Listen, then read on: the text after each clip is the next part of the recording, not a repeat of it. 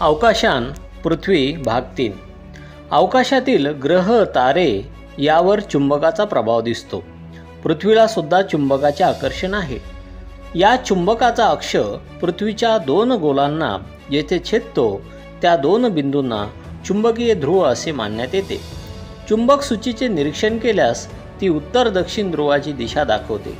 पृथ्वीच्या आतील भागात होणाऱ्या सततच्या बदलामुळे हा ध्रुव म्हणावा इतका स्थिर राहत नाही. पृथ्वीचा चुंबकीय कक्ष आणि तिचा परिभ्रमण अक्ष यात अकरा अंशाच्या कोणाचा फरक आहे.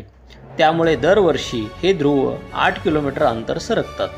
सध्या दक्षिण चुंबकीय ध्रुव हा कॅनडातील बाथर्स्ट बेटाजवळ आहे. तर उत्तर ध्रुव हा अटलांटिक प्रदेशाच्या आसपास असल्याचे मानण्यात येते. म्हणजे यावरून आपल्याला हे सिद्ध होतं की पृथ्वीचे जे काही ध्रुव आहेत ते नेहमी बदलत असतात.